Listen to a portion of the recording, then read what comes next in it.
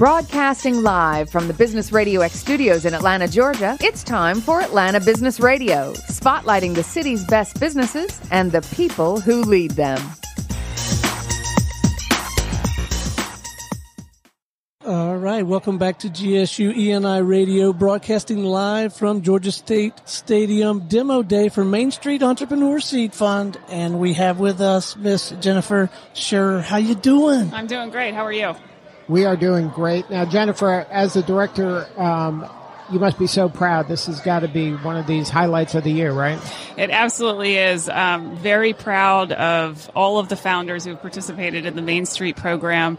Uh, very proud of the team uh, that supported them. Uh, they've been uh, they've had intense one-on-one mentoring and coaching. Uh, they've they've practiced their pitches um, and they've all done great. And they've really changed their businesses over the course of the past six months. And so this is just a day um, that we're excited about because they get to they get to tell uh, a broader audience about their businesses and, and how far they've come in the past six months.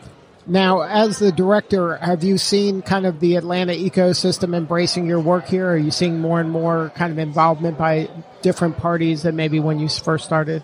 Yeah, I think I think today is a is a great indication of that. Um, so we have about 200 people that are we're expecting to to to attend, and um, then they're all people who um, have either already supported these founders in some way, um, or they're people that are interested in learning about their businesses, their investors, their corporate executives, their potential customers and strategic partners. Um, and so we have a, a, a, a huge gathering of, of external people who are interested in what's going on here with these uh, with with these companies, and um, and I think that uh, they're going to be they're going to ple- be pleased with what they see.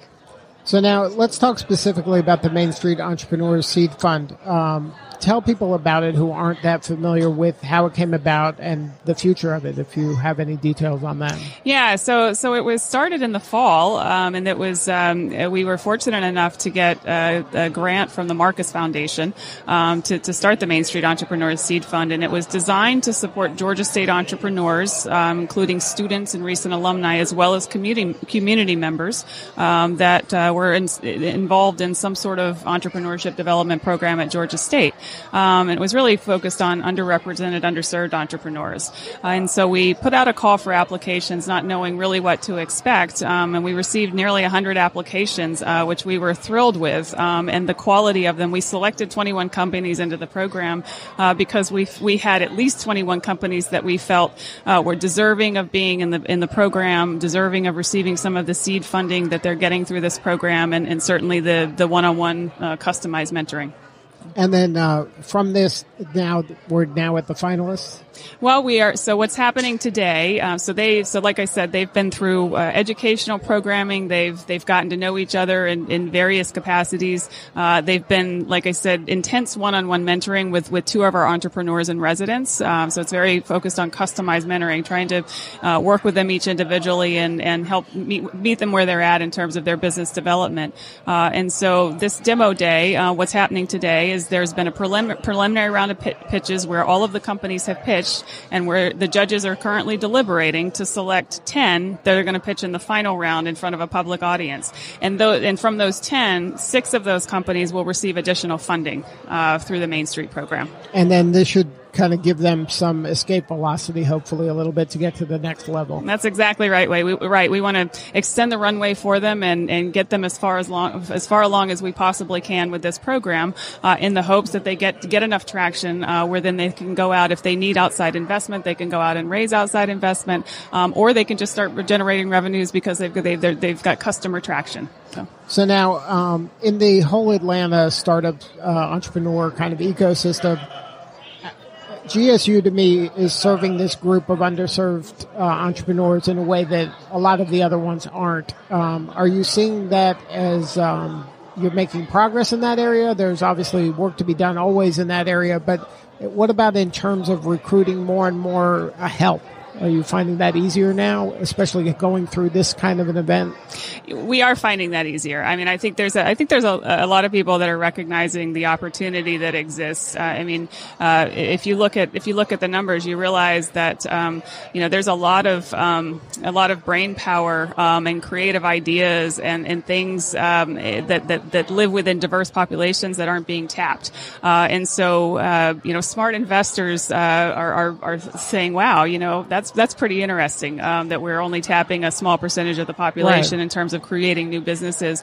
Um, and, and, fortunately, Georgia State is, is well positioned, just giving given innately our, our diverse student body and, and population of alumni. Um, it, and, and, what we know is that if you put um, if you put resources and you put um, access to to networks um, and you put education around creative uh, minds and, and, motivated people, uh, then good things happen. And, and sometimes it's in the form of a, a new and thriving business. Right. And it is um, historically this is an opportunity zone for people that they haven't been paying a lot of attention to but it's a missed opportunity because there's so much diversity on the campus and through the alumni group.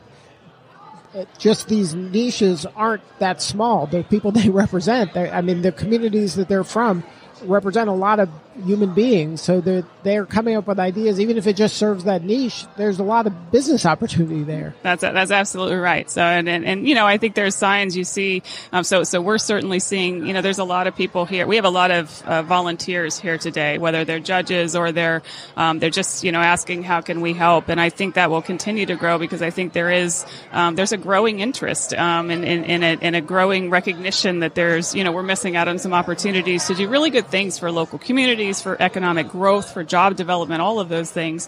Um, and you're starting to see too um, some of the some new funds be being established um, uh, that are focused on on investing in in diverse uh, uh, uh founder led teams. And and so you know those are all the things that need to happen. That's the ecosystem building that needs to happen in order to make uh, companies like you'll see here today successful. So now, what do you need more of? How can we help you?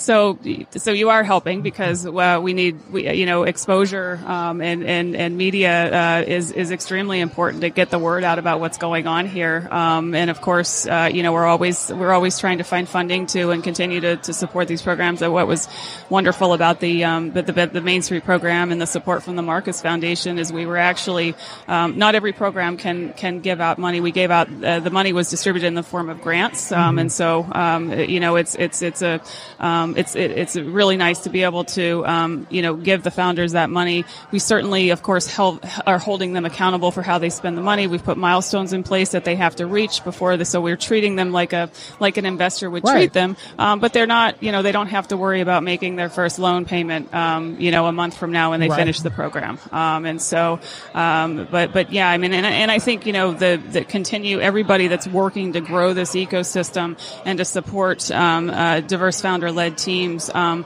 we need to continue to do that together. As you pointed out, there's still work to do, um, but there's some good momentum, and, and, and we want to capture that as, as much as possible while we have it.